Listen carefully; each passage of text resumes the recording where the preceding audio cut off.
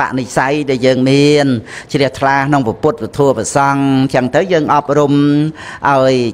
បរិបូរទៅចឹងបរិបូរក្នុងសិលបរិបូរទៅក្នុងគុណធម៌ទាំងឡាយទាំងពួងទៅ ដែលយើងសិក្សាក្នុងពុទ្ធសាសនាហ្នឹង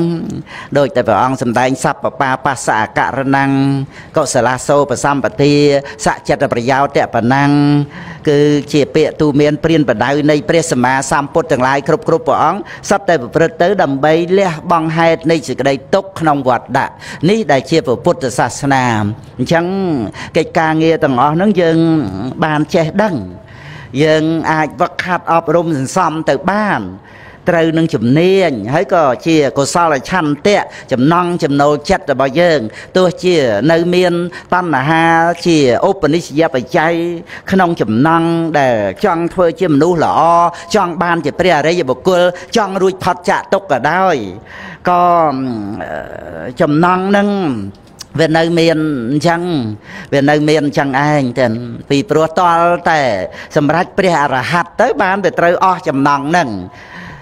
ហើយការដែលចង់ហ្នឹងគឺថាចង់ធ្វើជាមនុស្សល្អចង់បានជាព្រះរិយបុគ្គលចង់ឲ្យបានរួចផុតចាកទុក្ខចំណងហ្នឹងនឹងជាឧបនិស្ស័យនៃកុសលធម៌ទាំងប៉ុណ្ណាចង់សាងពុភ្នោះ ឲ្យបានឧបនិស្ស័យល្អបានបំពេញសិលសមាធិបញ្ញាឲ្យរួចផុតចាកទុកចំណងនឹងជាឧបនិស្ស័យល្អពិតមែនទៅជាអកុសលប៉ុន្តែជាបច្ច័យនៃកុសល ដល់តែពេលកុសលចម្រើនដល់លោកតរៈទៅត្រូវលះបង់តណ្ហានឹងវិញទៅតើទាំងនឹងឯងអញ្ចឹងគឺថាថាការចង់ហ្នឹងគឺប្រព្រឹត្តទៅដើម្បីវិន័យខ្លួនឯងជាតណ្ហានឹងឯងចឹងអញ្ចឹងគឺយើង កុំតន់ជ្រួលច្បល់អីហ្នឹងឯងកុំតន់ជ្រួលច្បល់សំងំណាឲ្យស្រួលការដែលចង់ធ្វើជាមនុស្សល្អចង់បំពេញសេចក្តីល្អចង់បានបន់ចង់ឲ្យទៀនចង់រសាសិលចង់បានតម្រាច់មគ្គផលចង់សាងពភ្នោះចង់បានព្រះអរហន្តអីហ្នឹងគឺយើងកុំតន់ចាប់ទោសចាប់ពៃអីអាត្រង់រឿងចង់ហ្នឹង នឹងឯងចឹងពីព្រោះជាចំណែកមួយ សម្រាប់ឲ្យកុសលធម៌ចម្រើនឡើងហើយថាអកុសលជាបច្ច័យនៃកុសលដោយបកតោបនិស្សយបច្ច័យអត់អីទេឲ្យតែពុទ្ធបរិស័ទយើងមានការចម្រើនទៅដោយកុសលឆន្ទៈនឹងឯងទីបំផុតនឹងត្រូវសម្រេច នៅលោកកតរៈកុសលហើយធ្វើឲ្យចំណងហ្នឹងក៏អស់ទៅជាធម្មតានឹងឯងបើមិន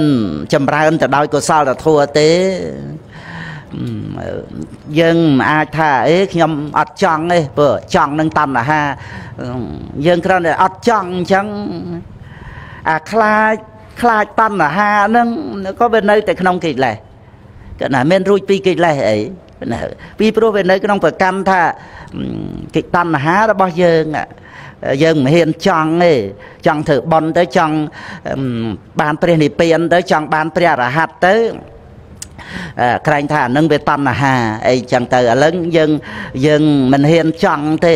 គ្រាន់តែមិនហ៊ានចង់អញ្ចឹងវាធ្លាក់ចូលទៅក្នុងសកាយតិដ្ឋិនិងមិច្ឆាតិដ្ឋិផ្សេងផ្សេងទៅទៀតក៏បានទៀតហើយវានៅតែក្នុងចំណងដដែលហ្នឹង ហ្នឹងឯងចង់ឲ្យអស់តណ្ហាចង់កុំឲ្យមានតណ្ហាប៉ុន្តែបើយើងមិន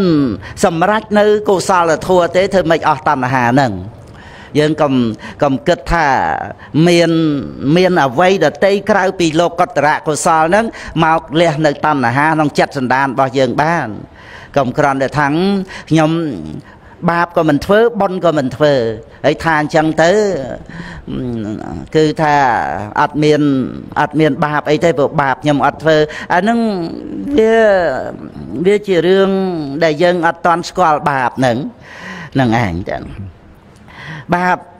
ឲ្យតែបរិស័យទៅនៅក្នុងបុណ្យកសលថាមិនធ្វើបុណ្យហ្នឹងវាជាទូបាបស្រេចបាត់ទៅហើយពីព្រោះសម្មាទិដ្ឋិដែលយល់ត្រូវគឺអត់មានបរិស័យបុណ្យទេហ្នឹងហ្នឹងឯងមានតែមិច្ឆាទិដ្ឋិទេដែលថាបុណ្យអត់ធ្វើហ្នឹងឯងអញ្ចឹងវាចូលនៅក្នុងបាបគឺមិច្ឆាទិដ្ឋិហ្នឹងហើយយើងគ្រាន់តែថាមិនធ្វើបាបតាមរបៀបដែលយើងស្គាល់បាបក្រោតគ្រៀតអីអីចឹងទៅយើងមិនទៅបៀតបៀនគេមិនទៅសម្លាប់គេមិនទៅនិយាយកុហកបោកប្រាស់លួចប្លន់អីតែប៉ុណ្ណឹងប៉ុន្តែវានៅបាបទៅតាមការដែលយើងប្រកាន់ខ្លួនយើងនេះដើម្បីថាឲ្យខ្លួនយើងនឹងបរិសុទ្ធ កុំឲ្យមានបនកុំឲ្យមានបាបហើយយើងពឹងអីដើម្បីជាក្តីបរិសុទ្ធនឹងបើមិនពឹងកុសលធម៌ទេ បើមិនអាស្រ័យ